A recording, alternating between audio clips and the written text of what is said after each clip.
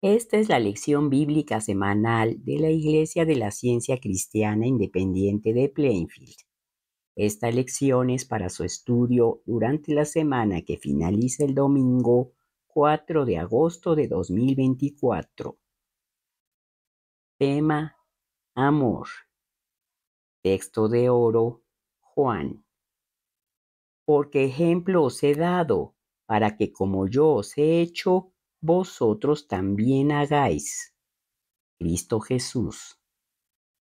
Lectura alternada, Isaías y Efesios. El Espíritu de Jehová el Señor está sobre mí, porque me ungió Jehová.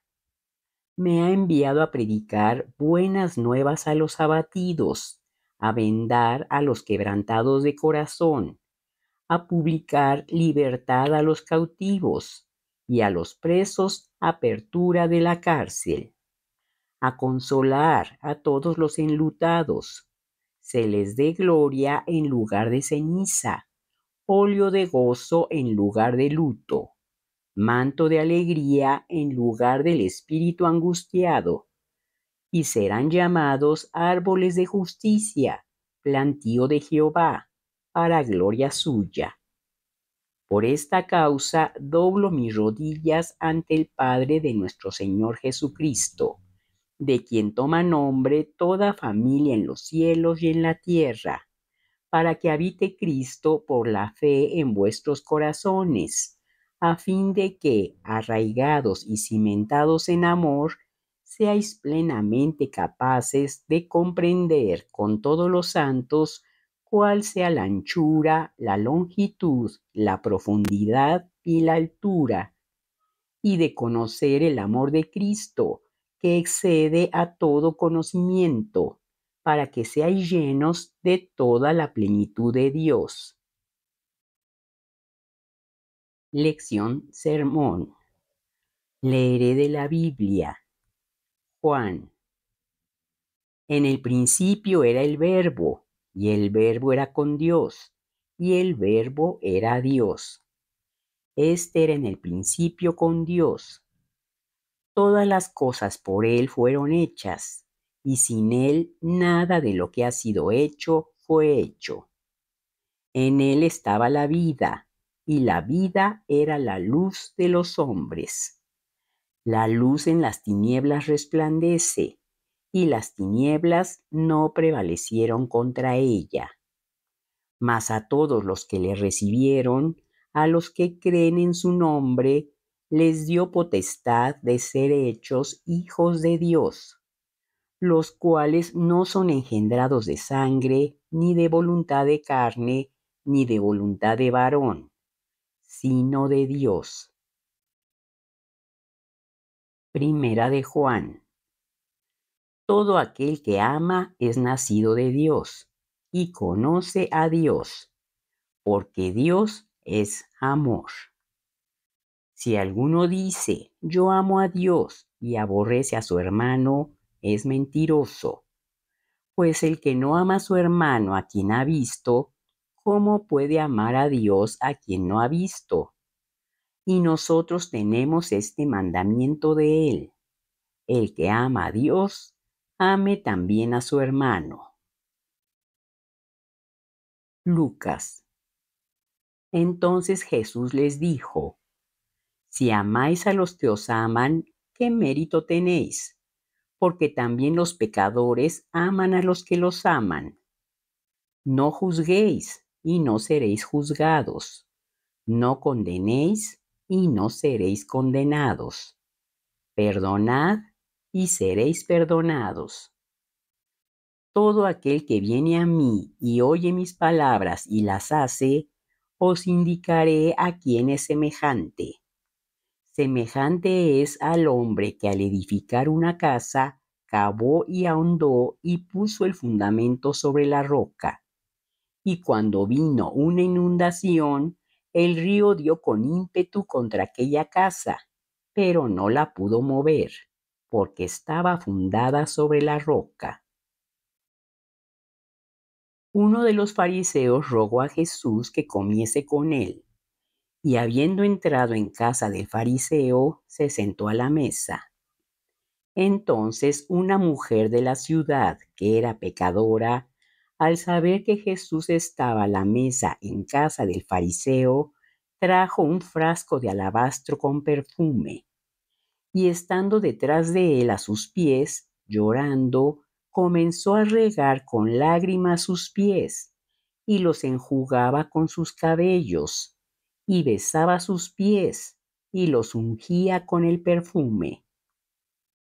Cuando vio esto el fariseo que le había convidado, dijo para sí, Este, si fuera profeta, conocería quién y qué clase de mujer es la que le toca, es pecadora. Entonces respondiendo Jesús le dijo, Simón, una cosa tengo que decirte. Y él le dijo, Di, maestro. Un acreedor tenía dos deudores. El uno le debía quinientos denarios y el otro cincuenta. Y no teniendo ellos con qué pagar, perdonó a ambos. Di pues, ¿cuál de ellos le amará más? Respondiendo Simón dijo, pienso que aquel a quien perdonó más. Y él le dijo, rectamente has juzgado. Y vuelto a la mujer, dijo a Simón, ¿ves esta mujer? Entré en tu casa y no me diste agua para mis pies, mas ésta ha regado mis pies con lágrimas y los ha enjugado con sus cabellos. No me diste beso, mas ésta, desde que entré, no ha cesado de besar mis pies. No ungiste mi cabeza con aceite, mas ésta ha ungido con perfume mis pies por lo cual te digo que sus muchos pecados le son perdonados, porque amo mucho. Mas aquel a quien se le perdona poco, poco ama. Y a ella le dijo, tus pecados te son perdonados. Dijo Jesús a sus discípulos, cuando hayáis hecho todo lo que os ha sido ordenado, decid, lo que debíamos hacer, hicimos. Mateo. Así alumbre vuestra luz delante de los hombres, para que vean vuestras buenas obras y glorifiquen a vuestro Padre que está en los cielos. Porque os digo que si vuestra justicia no fuere mayor que la de los escribas y fariseos, no entraréis en el reino de los cielos.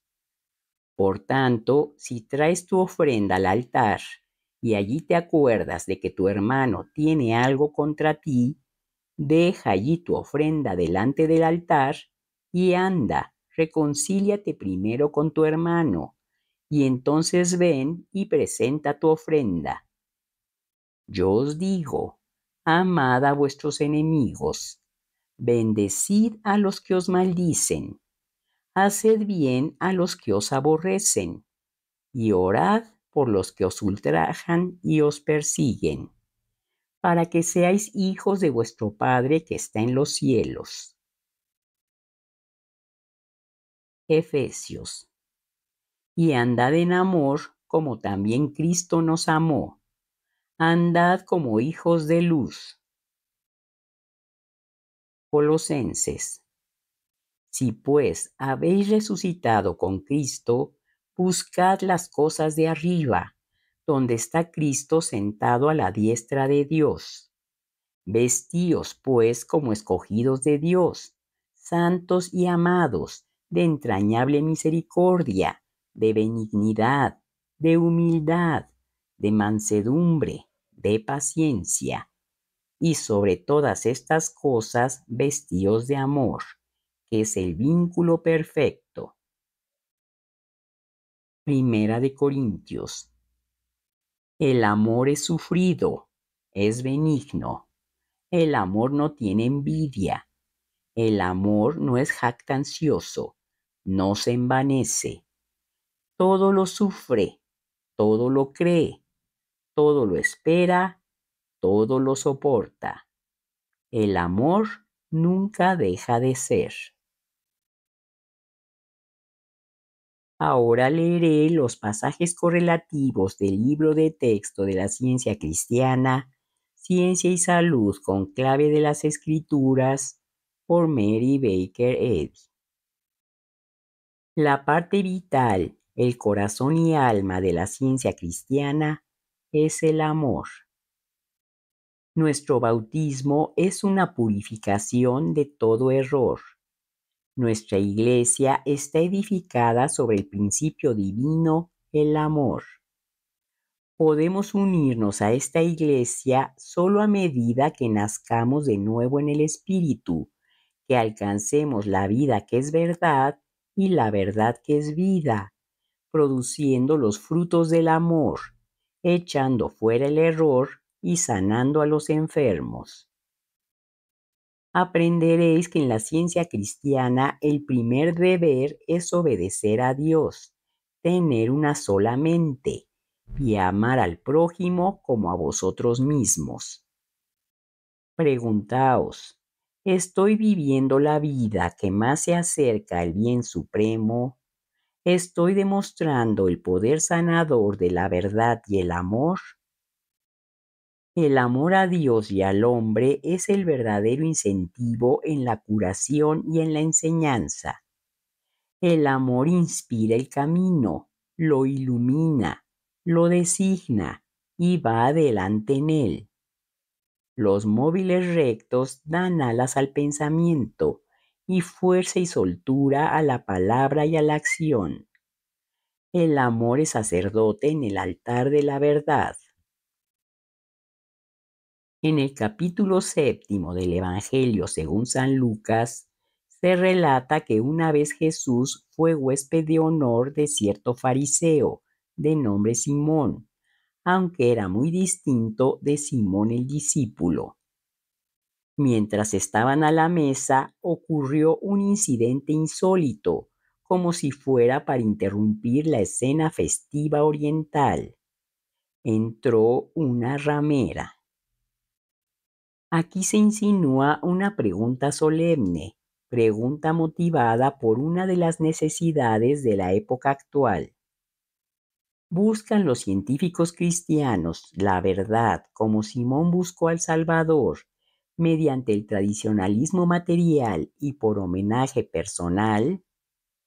Si los científicos cristianos son como Simón, habrá que decir de ellos también que poco aman. Por otra parte, demuestran su respeto por la verdad o el Cristo con arrepentimiento sincero y con corazón abatido, expresados en humildad y afecto humano, como lo hizo esa mujer? Si es así, entonces puede decirse de ellos lo que Jesús dijo de esa visitante mal recibida, que en verdad aman mucho porque mucho les es perdonado.